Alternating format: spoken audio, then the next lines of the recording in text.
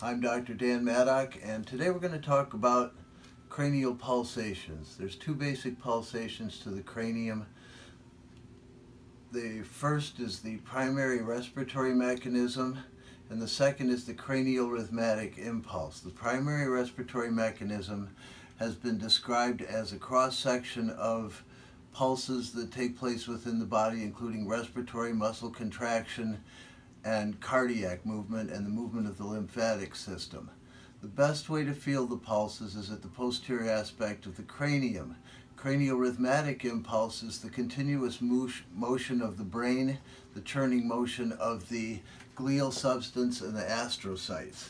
Now, as we're looking at the skull here, you can see the occipitomastoid suture coming up to the lambdoid, the lambdoid suture, the occipitomastoid suture, bilaterally the occipitomastoid suture, and coming up between the occiput and the parietals up, up to the lambda, and then the posterior aspect of the cranium and the suboccipital. This is the nuchal line and the external occipital protuberance. Those can be palpated along the posterior aspect of the cranium in this position and our finger contacts are going to look like this. We're going to start out at the base of the skull.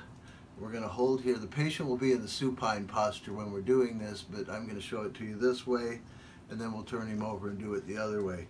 Right here, we have the suboccipital area and the posterior aspect of the C1 occipital junction, and we're just going to hold that, and then we're going to move up on the occiput to the just below the super, superior nuchal line. And then we're going to move up a little higher and a little higher.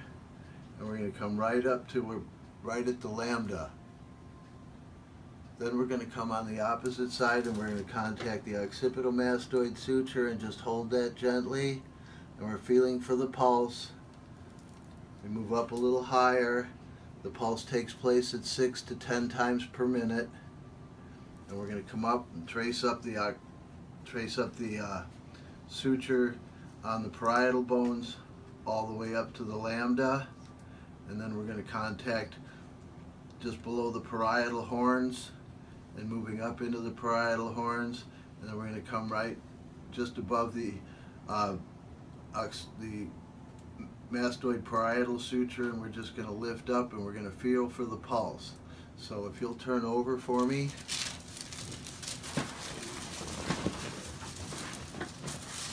We're going to start out down low and we're going to have the patient, we're just going to hold the contact and feel for the pulse. This is difficult for some practitioners, especially the new practitioners when they're learning this position and they're learning to feel the pulse. What I do is I have the patient take a deep breath Hold the breath and you'll feel the skull open gently against your hands. Hold that breath and feel and feel until the skull starts to move away from your hands.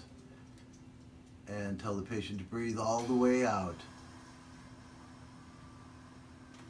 And as he breathes out, I'm going to have him hold the breath out and I'm going to wait for the skull to start to push outward against my hands. And you might feel it one side or the other. Take a deep breath in. There he goes. Hold it. Hold it. Deep breath. Putting your toes up towards your nose. Hold it.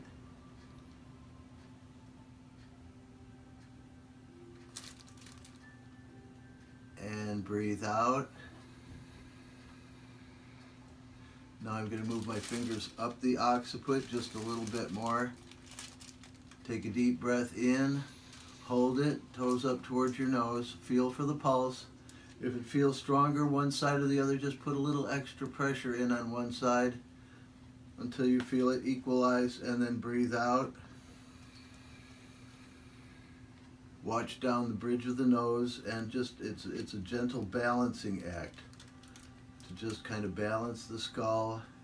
Take a deep breath in and you'll feel the skull start to change balance and you just vary your pressure until you equalize the motion of the skull when you feel it start to go back into what we call extension, breathe out. Extension is exhalation, flexion of the cranium is inhalation, and that movement takes place at the floor of the skull at the sphenobasilar mechanism. The sphenobasilar mechanism is formed in bone and remains functional as bone throughout life. The membrane bone functions as membrane throughout life. Take a deep breath in, hold it, and so we feel the membranous bone, and you'll feel the pulsation come in. Hold the breath.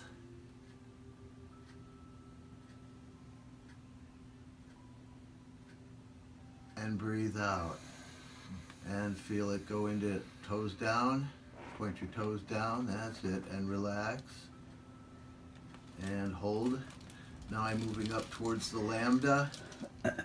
I'm still on the occiput. And breathe in. Toes up towards your nose.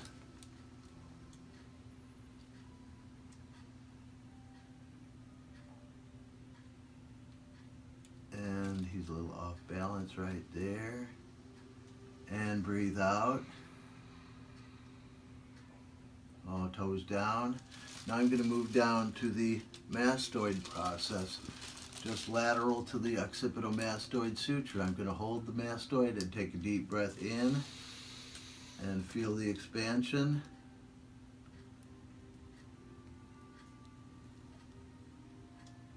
And it goes open, open, open, and then it starts to close in. Breathe out. Hold it out. Gently holding that mastoid process. And breathe in. Hold it. And breathe out.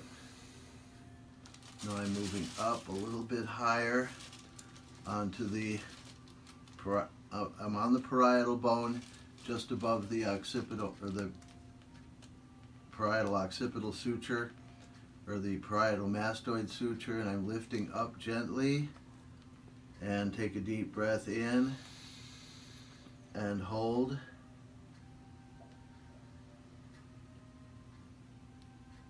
And breathe out and relax hold it out and you just gently compress until it starts to move in and the pressure is very light just a couple ounces of pressure, just enough to let his head rest in my hands. Breathe in. Hold it, toes up towards your nose. And breathe out. And this is great for your anxiety patients, your patients that are under a lot of stress. Certainly great for headaches and hypertension patients. Breathe in. Hold it. Now I'm on the parietal bone, just lateral to the lambdoid suture on both sides. And again, breathe in and out. Feeling for the pulse wave. Hold it out. Wait for it to come back in. Inhale and exhale. Come on over here, Brenda, behind, come from over my shoulder and breathe in. Hold it and breathe out. I'm going to move my hands up just lateral. My, my little finger, my fifth digit is just at the, on the parietal bone, right at the lambdoid, or the lambda, right at the junction of the uh, occiput, superior portion of the occiput and the parietals. Deep breath in hold it.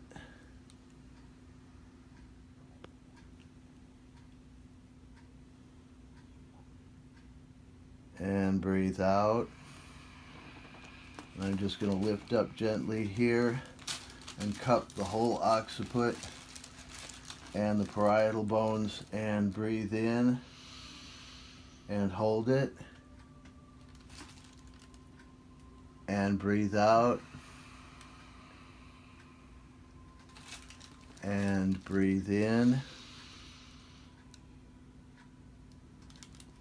And just gently balance the skull in your hands. Hold it. Wait for the pulse to go out. Breathe out. And relax. Now I'm going to come up gently right here on the parietal bones just above the temporal bone and I'm just holding. Take a deep breath in. Hold it.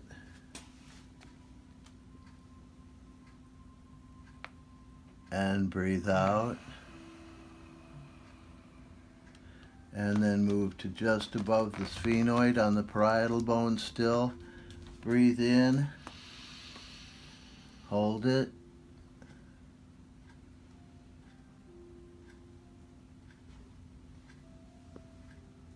And breathe out.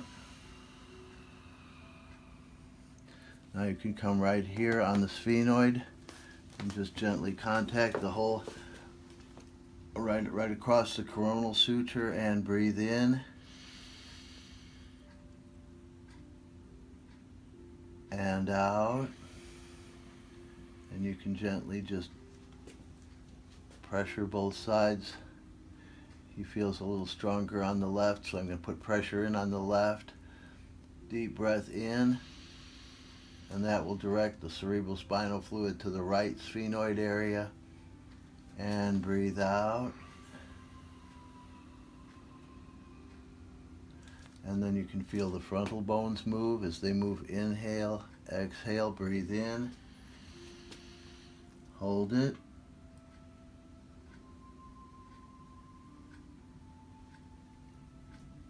And breathe out. And then you can feel the maxillary and the malar or the maxillary and the zygomat, zygomatic bones. Breathe in. And you can feel the whole anterior cranium. Inhale and breathe out and exhale. Wait for it. And breathe in. Toes up towards your nose. And breathe out. And relax.